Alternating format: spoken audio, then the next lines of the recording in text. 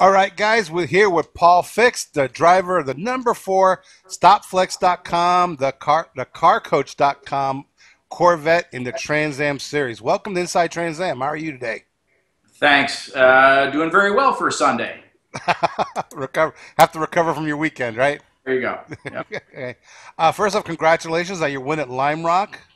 Thank you very much. That was uh, that was a really good race for us. Three years in a row. Uh, great venue, perfect weather. You know, couldn't ask for anything more. I want to talk about that. Let's you mention it right now. Three years in a row at Lime Rock. Why is Lime Rock so good to you, or why are you so good at Lime Rock? That that's uh, it's funny because it's not really my home track, hmm. uh, but it's a track that I've raced at since 1989, at least once a year. Mm-hmm. Um, I just I love the uphill. I love the downhill. Um, it's just a it's a great short track that uh, I seem to excel at better than anybody else. um, you you started off the season with two thirds and a second, then you, you got your win now at Lime Rock. Um, you, you, you finally somebody finally got to knock off Amy Ruman off right. the top step. Um, is this something? Was this something like a progression for you, or did you just knew that you were going to win a race this year? Well, we, you know, our um, we're going for the championship. That's mm-hmm. that's the end the end game here. So whatever we have to do to uh, to rack up those uh, points as every race goes on. Mm-hmm. Um, you know, we've got a new tire now uh, that Hoosier uh, gave us, and uh, so we're figuring out how that uh, works with our setup and uh, so we've you know we've got some stuff to work on there. Uh, we've been progressively getting stronger. I was on pole at Atlanta, and um, finished second there. Unfortunately, I screwed up mm-hmm. and uh, let Amy by me, so uh, that was difficult. Once we hit traffic, so but the end result is uh, the championship is is what we're shooting for, and uh, so we just got to keep refining the car and um, you know, you know, we still got three quarters of the season to go, so we got a ways to go. You, you, you mentioned the traffic, and Trans Am has really grown the last couple of years. Uh, it's incredible. The, your grids are so huge, and now a lot of the races are split where T2 is running their own race, and you're running with T3, and there is a huge speed differential between you and T, T3. Are the T3 guys behaving themselves and getting out of your guys' way, or I saw Lime Rock had a little bit of a problem with one of the T3 guys. Um, aside from that, are they mostly getting out of your way? Yeah, for the most part, they're really conscious of what's happening because the closing rate is so huge mm-hmm. um, that uh, they're very aware of what's going on. Obviously, we want them to be predictable. We want them to run their own race and let mm-hmm. us go by them uh, in an untraditional manner. Mm-hmm. Um, you know, uh, if they're predictable and running a consistent line that we know that we can count on them from being in a certain spot at any one given time around the track, which is the line, mm-hmm. and then uh, we can pick and choose how to go by them.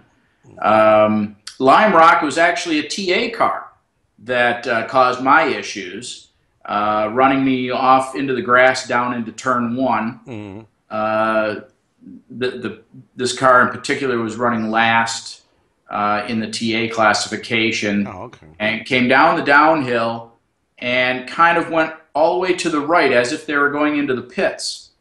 So, of course, the sea parted, if you will, and I chose to go straight down the middle.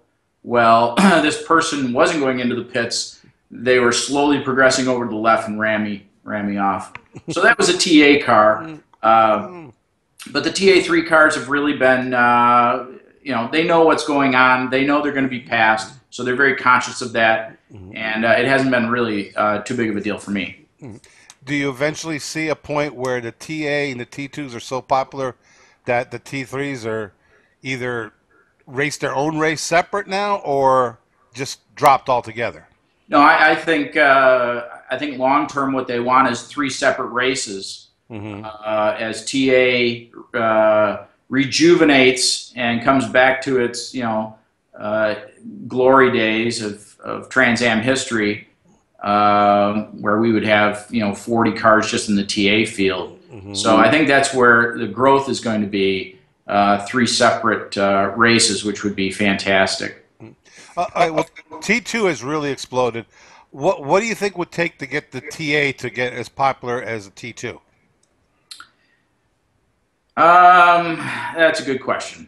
you're, uh, let's play a game. You're the boss. cost control is is obviously an issue. You know, the, mm-hmm. the entry point for a TA2 car is uh, a third of a TA car mm-hmm. uh, or TA2 car. So, um, and then they have a basically a an engine that's a, a crate motor. You know, for mm-hmm. Uh, to use that term, uh, where you know our motors are fifty thousand dollars. Our transmissions are fifteen thousand dollars, mm-hmm. and you know a, a, turnkey TA car could be three hundred, brand new, or you know a hundred thousand dollars. You know maybe buying something a couple years old. So. Mm-hmm. Um, cost is a major uh, factor in the TA uh, TA group. Mm-hmm. Mm-hmm. All right. Um, next week, New Jersey, across the border for you. Um, you like that track? You like the facility? You're you're happy you're going to Jersey? You know, uh, I have never been there. Oh, I have never raced at New Jersey. Uh, I've been there um, a few years ago, but have never been on the track. Uh, doing a lot of uh, prep work, mm-hmm. and uh, so we'll have to see. Uh, in years past, though, I've been a great adapter to new tracks. Uh, for instance, Homestead, I, I had never raced at Homestead before. And um, uh, a couple years ago, I raced at COTA. I had never been to COTA before. I won the national championship there a couple years ago uh, in a um, Rocket Sports Trans Am Roush uh, Jaguar. Hmm. So uh, that was a that was a great result there. So New Jersey shouldn't be, uh, you know, there'll be that learning curve, but luckily we have a test day. Do you have any clue what to expect out there? As some of your fellow Trans Am guys giving you like some idea what to expect? People have driven there before, or are you going out there totally blind? I, am on my own. There's no, there, there's no help there. All I can do is watch watch videos and uh, you know be on my simulator and, and mm-hmm. stuff like that to uh, mm-hmm uh, but nothing like being on the track to get all those visual clues as to pavement change, uh, curbing, uh, you know, the peripheral cues and so forth that uh, you need mm-hmm. to feel comfortable on the track. And uh, so hopefully that that's what I intend to accomplish on the test day. Well, you've been running up front the whole year so far, so there's no reason to expect you won't be up there again. Um, I want to thank you. Uh, of course, you mentioned StopFlex.com, one of your sponsors, and the Car Coach. You also work with, was it Wellworth? Yeah, What's that? Well, What's that? Wellworth is a uh, is a Northeast company that that uh, manufactures car care products for dealerships.